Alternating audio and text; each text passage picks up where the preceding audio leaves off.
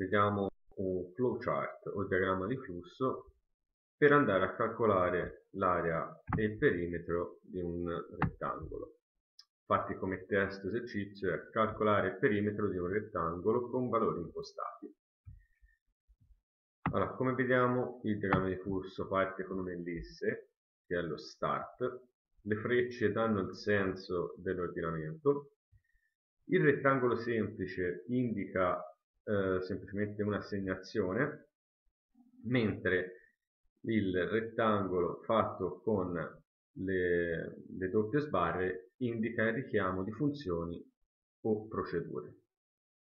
Quindi come possiamo vedere qui abbiamo semplicemente eh, l'inizio, l'assegnazione di due variabili, poi un'altra variabile che è area eh, assegnata mediante una funzione, anzi una procedura, poi una, una procedura di messaggio calcolato, una procedura per il perimetro, o meglio un'altra funzione per il perimetro e un'altra procedura per il messaggio calcolato. In dettaglio possiamo andare a vedere anche ogni singola funzione o procedura. Come vediamo la funzione calcolaria ha due dati in ingresso di tipo intero poi noi ne faremo due uguali, una con i tipi reali e una con i tipi interi, così eh, anche, iniziamo a dare anche la visione di concetto di polimorfismo. Semplicemente start e ritorna, restituisce il valore di area calcolata facendo la moltiplicazione di base per altezza. E poi come vediamo la funzione termina con il termine torna, o meglio questo perché? Perché la funzione stessa termina, ma non il programma, quindi torna, dove torna? Torna al programma completo, al programma principale, che questo è il main, tant'è che come vedete il main invece termina con fine o end. Dopo, questa è la calcola perimetro, che è praticamente uguale alla calcolaria, cambia semplicemente il calcolo, Dopo abbiamo due procedure messaggio, una è il messaggio calcolato dove eh, riceve due, ingressi, due dati in ingresso, un intero e uno string e, un, e ha una variabile locale che ho chiamato testo messaggio locale. Quindi questa cosa fa? Non fa altro che inserire all'interno di testo messaggio locale il testo del messaggio più la conversione del tipo di dato inserito, quindi il dato intero. E inoltre richiama un'altra procedura che chiameremo messaggio che è questa. E la procedura messaggio non fa altro che avere in ingresso una stringa e questo, eh, questo simbolo qui fatto a parallelepipedo è eh, una procedura di output sono fatte così sia le output che le input Generalmente si può identificare anche con una O o una I eh, a bordo de, della nostra figura geometrica per far capire meglio se è un output o un input. Ma adesso andiamo a vedere in dettaglio come si può fare. Apriamo il nostro eh, Visual Studio e creiamo un nuovo progetto. Andiamo a creare un nuovo progetto e come prima cosa andremo a creare una libreria di classi. Libreria di classi che la inseriremo all'interno della cartella librerie. Come vedete io la creo direttamente eh, usando il percorso. E come nome gli daremo lib underscore geometria geometria piana. E diamo ok. In modo tale che il nostro software inizi a caricare tutto il programma.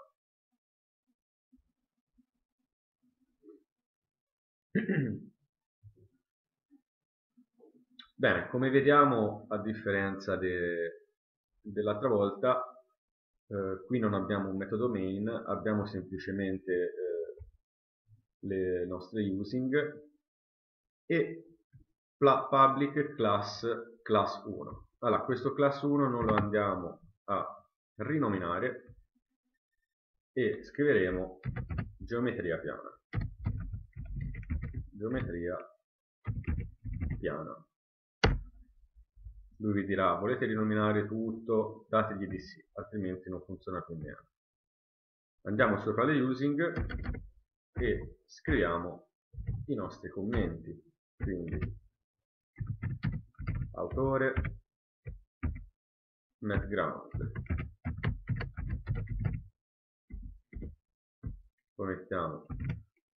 Data oggi per me è il 7 dicembre 2015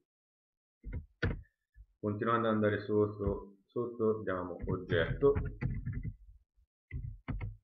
E scriviamo mm, creazione libreria geometria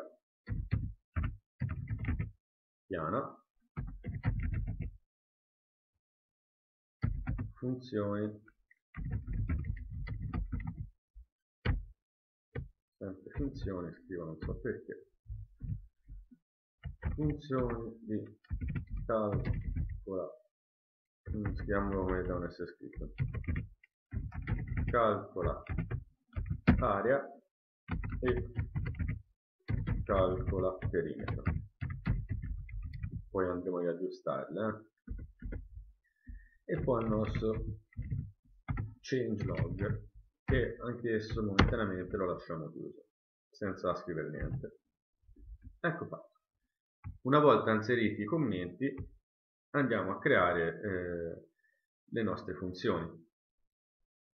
Quindi possiamo tranquillamente seguire il nostro schema quindi andiamo a vedere come eh, la nostra procedura di calcola area alla 10 funzione calcola, la nostra funzione calcola area vuole due dati ingresso. Quindi in, eh, base intero e altezza intero.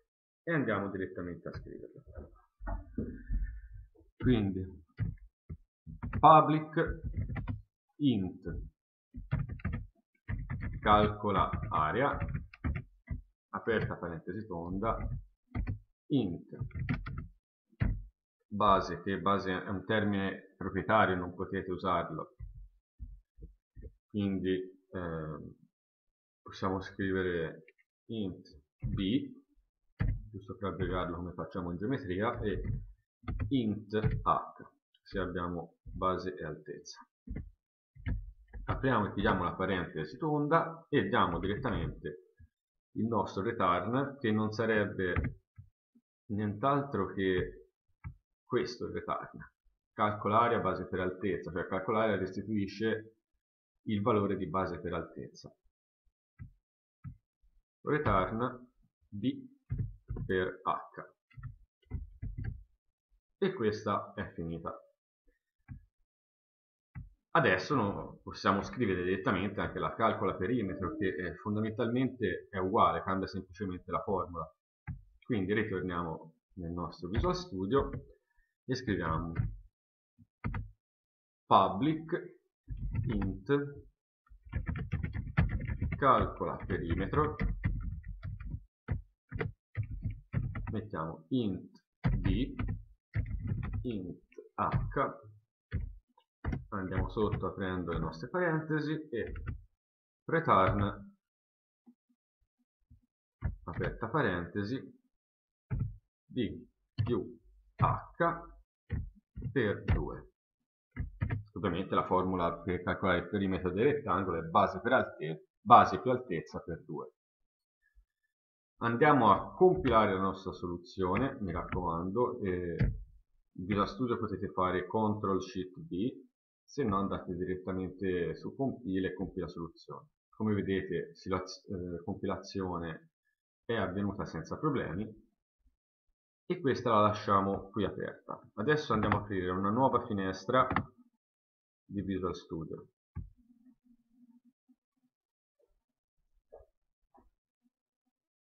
E andremo a crearci un altro progetto libreria.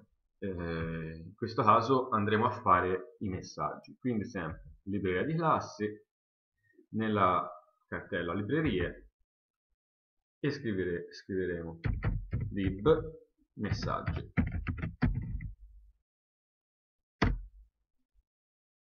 Diamo un invio e automaticamente anche qui ci crea il progetto. Andiamo eh, nella geometria piana così ci copiamo i commenti e cambiamo semplicemente l'oggetto. Imparate che in Visual Studio dobbiamo andare a lavorare. Ah, dobbiamo andare a lavorare con più sessioni aperte per, per eh, agevolarci perché tanto succederà spesso che dobbiamo andare a modificare o guardare o controllare porzioni di codice che fanno parte di alcune librerie o di altri, o di altri file. Quindi teniamole aperte che tanto eh, si può fare tranquillamente e vedrete che avrà dei, dei benefici. Ah, creazione libreria messaggi e mettiamo anche qui eh, procedure. Messaggio calcolato e messaggio. Queste sono procedure, vi ricordate, quindi saranno sicuramente void e non restituiranno niente, non hanno bisogno di un retardo. Andiamo a modificare anche qui il nostro nome della classe e scriviamo messaggi. Ovviamente rinominiamo tutti i riferimenti, eh, altrimenti poi sarebbe da rinominare a mano, ci vuole un secolo, comunque sia, vabbè. Si può fare anche in altre maniere ma non è questo il nostro, il nostro obiettivo. La messaggi. Andiamo direttamente a vedere la messaggi.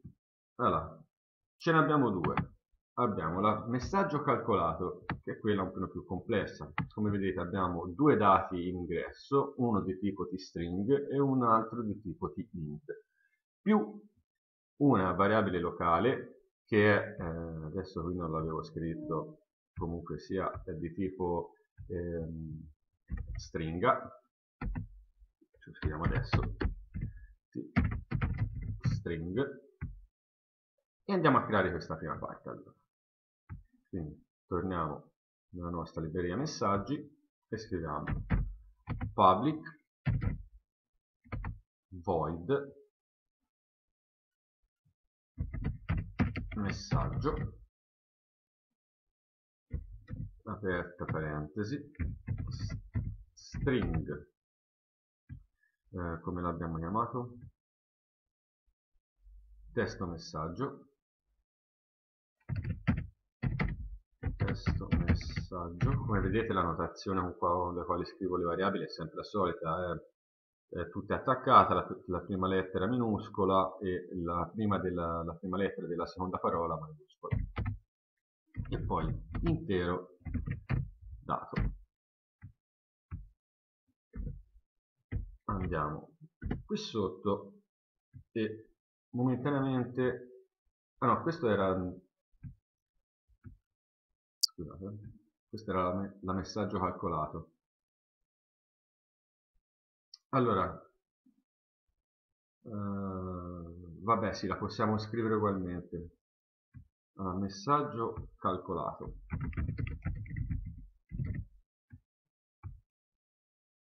Poi qui avremo una variabile di tipo string che sarà come l'abbiamo chiamata così rimaniamo coerenti e non cambiamo. Testo messaggio locale. String testo messaggio locale. Ecco. Adesso il nostro flowchart cosa si dice? bene, in testo messaggio locale tu ci devi inserire il testo del messaggio più la conversione del dato. Niente di più semplice quindi mettiamo testo messaggio locale sarà uguale a testo messaggio più dato punto toString toString è un metodo che, che restituisce una stringa da un valore numerico. Dopodiché continuando a seguire il nostro flowchart dice che dovrei richiamare la procedura messaggio. Procedura messaggio che ancora non abbiamo fatto quindi niente però ci vieta di poterla scrivere ugualmente anzi la scriviamo. Quindi faremo messaggio vedrete darà errore eh?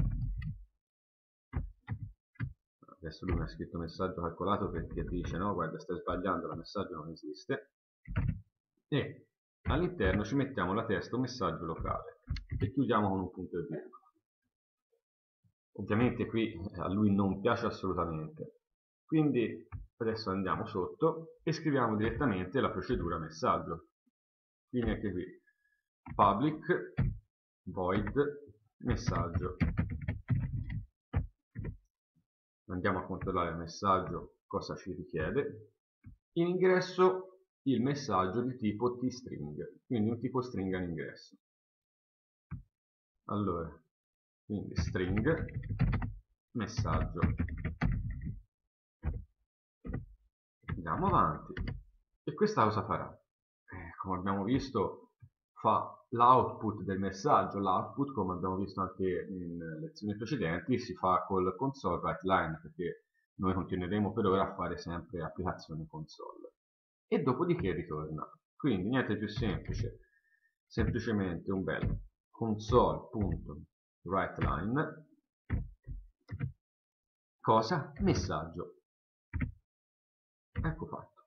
Punto e virgola come vedete anche la procedura sovrastante non dà più errore perché ha detto ah ok ho visto che c'è la messaggio quindi adesso sono a posto i dati inseriti sono corretti perché lui vuole una stringa io ho inserito una stringa.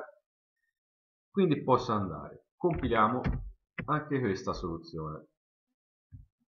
E apriamo una nuova finestra di Visual Studio facciamo un nuovo progetto. Stiamo attenti a uscire adesso dalla cartella librerie perché non andremo a fare un'altra libreria ma andremo a fare la nostra applicazione console. E diamo ok. Ancora una volta i commenti ce li ricopiamo pari pari. E a oggetto ovviamente ci scriveremo. Calcolare area e perimetro di un rettangolo con base ed altezza dati. Perché questi li decidiamo noi non, facciamo, non glielo facciamo fare da loro. Allora, in questa, nella classe del main non vi faccio cambiare praticamente niente per quanto riguarda nomi e via discorrendo non è una cosa che mi interessa però vi faccio inserire due riferimenti. I riferimenti non sono altro che le nostre librerie. Sono le nostre librerie, quindi dobbiamo fare ah, col tasto destro del mouse aggiungi riferimenti su sfoglia e andiamo nella cartella e andiamo nella cartella dove avete salvato la roba. Io per esempio questa l'ho sul desktop. Corso. Eccola qua. Librerie. E mettiamo la libreria messaggi. Bin debug il percorso va fatto tutto eh? e diamo aggiungi. E anche la geometria piana. Quindi torniamo su. Andiamo su lib geometria piana bin debug e geometria piana dll. Mi raccomando la dll eh, dovete inserire tanto non quell'altro non me le fa inserire e diamo ok. A questo punto i nostri due riferimenti sono agganciati ma ancora non si possono usare perché lui dice sì me l'hai messi ma io non li trovo da punto e fare dobbiamo andare ad aggiungerli qui con il termine using non safe. Using e l'abbiamo chiamati. Lib, eccole qui vedete. Messaggi e using lib geometria piana. In questo modo sono agganciate. Quindi noi possiamo usare le funzioni e le procedure di queste librerie. Allora iniziamo a scrivere il nostro programma. Quindi andiamo a vedere flowchart. Abbiamo due dati di tipo intero che sono eh, b e h di valori 20 e 6 più altri due dati, altre due variabili che saranno area e perimetro. Quindi iniziamo a scrivere le nostre variabili. int b uguale 20 int h uguale, non mi ricordo più, 6 poi int area eh, qui possiamo fare due righe o scriverlo su una riga. Generalmente quelle non inizializzate le scrivo su una riga. No ma inizialmente scriviamolo su due righe va, se ci facciamo meno confusione. E int perimetro bene quindi abbiamo inizializzato il tutto adesso dobbiamo mettere cosa? il valore di area in area quindi facciamo area è uguale a cosa? a geometria piana punto e guardate il ganzo non c'è niente sapete perché non c'è niente? perché quando noi abbiamo vi ricordate la lezione in cui avevo provato a levare lo static, lo static davanti al void e tutto si era uh, un po' arrabbiato non, non funzionando più perché potete sapere che una funzione static eh, vuole sempre e comunque riavere un tipo di dato statico. Quindi noi mettiamo e poi ovviamente ricompiliamo static e anche di sotto sulla calcola perimetro static e poi andiamo a ricompilare. Ora guardate tanto poi lo static ve lo spiegherò per bene perché è abbastanza carino come, come metodo. Ah non ho dato il nome alla console application ma quello è un poco male poi lo darò. E adesso come vedete abbiamo il calcolo area ovviamente per la messaggio andrà fatto lo stesso poi eh. Quindi int b e int h quindi mettiamo b e h perché corrispondono ai nostri nomi così ci agevoliamo il computo ecco qua. Adesso area come vedete non è più sottolineata di verde ma ha un valore ben preciso. Andiamo avanti. Messaggio calcolato, l'area messaggio calcolato prima ancora di andare a fargli vedere che eh, ovviamente non ce lo vede. Lo andiamo a mettere static. E compiliamo. Sì, giustamente. Static. Ecco fatto. Static sopra, static sotto, tutto static per ora mettiamo. Quindi andiamo sotto e scriviamo cosa? Messaggi, eccola qui, punto messaggio calcolato, string messaggio, quindi noi metteremo eh, l'area vale due punti, lasciamo uno spazio che non fa tutto attaccato, mettiamo una virgola e inseriamo il dato che è il nostro area. Sotto per la perimetro è identico, quindi perimetro è uguale a geometria piana, punto, calcola perimetro, ovviamente i dati sono sempre due interi, b e h, e terminiamo con un punto e virgola. Come vedete i riferimenti alle librerie lo mette addirittura di un altro colore per evidenziarlo, eh, perché sono, sono diventate a questo punto parole chiave anche se l'abbiamo scritto noi. Andiamo sotto e scriviamo anche qui messaggi, punto, messaggio calcolato, nuovamente testo messaggio e int data. Quindi apriamo le virgolette della stringa e mettiamo il perimetro vale virgola, perimetro e terminiamo con un punto e virgola. E da ultimo il nostro eh, console.ok per non far terminare troppo alla svelta il programma. A questo punto andiamo in esecuzione dando F5 o comunque sia da compile a debug ed ecco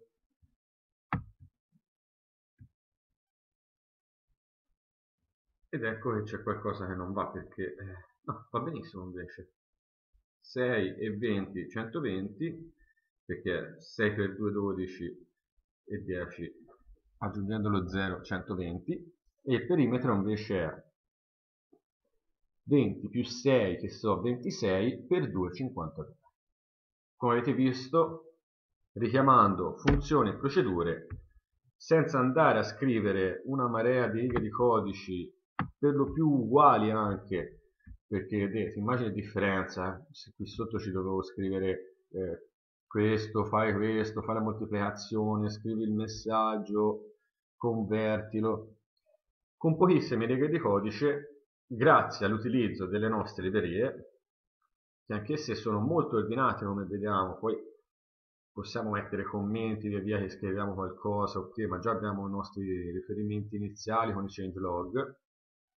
Grazie a queste librerie che possiamo richiamare in ogni programma quindi io non ho più bisogno di scrivere alcuna di questa funzione o procedura io in qualsiasi programma non faccio altro che agganciare la libreria e richiamare il nome e il metodo all'interno della libreria in modo tale che lui in automatico se io ho da calcolare il perimetro di un, di un rettangolo in un X programma eh, non dovrò andare a, a, scrivere qualcosa che me lo calcoli, ce l'ho già pronto, aggancio solo la libreria e quando manderò una compilazione lui mi aggancerà la libreria facendo sì che quella funzione o quella procedura continui ad essere richiamata e avvenga eh, così per qualsiasi altro tipo di programma. Come vedrete useremo molte librerie, io almeno me le faccio sempre librerie, tanto poi le cose che usi alla fine sono sempre abbastanza sono sempre abbastanza monotone, una volta che l'hai scritto una volta, ora per queste cose qui ovviamente sono sciocchezze, perché calcolare l'area perimetro è un calcolo veramente, ma se noi dovessimo andare a fare dei, dei lavori sulle liste, sugli array, sulle griglie, quindi data di grid view e via discorrendo, vedrete che le righe del codice iniziano a essere molte e ogni volta a scriverle, a parte correreste il rischio di sbagliare perché basta con un errore involontario e eh, dovreste andarlo a ricercare e soprattutto risparmiate una marea di tempo. Ciao per ora, ci vediamo alla prossima.